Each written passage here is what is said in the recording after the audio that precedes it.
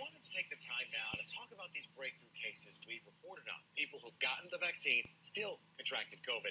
I spoke to Dr. Jayne Morgan, the executive director of the COVID task force at Piedmont, about how the vaccines help in these rare cases. All right, Dr. Jayne Morgan, let's talk about the Delta variant, but not the actual variant, but the breakthrough cases, meaning people who've been vaccinated and come down with COVID. It's the Delta variant in most cases. In, in, in, most cases, it probably is. We know we have a 75% penetrance of the Delta variant here in the state of Georgia. But we also know that these vaccines are not 100%. No vaccine is. But these vaccines are outstandingly high.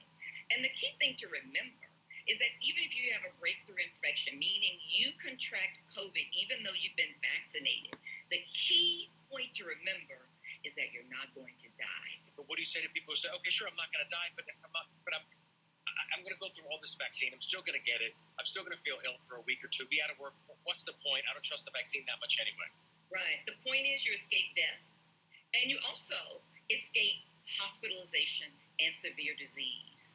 So if we are able to mitigate your disease with a variant that has a 1,000 fold higher viral load content, and you're able to still be at home with mild illness, that is such a win for you, as opposed to being very, very ill or risking death.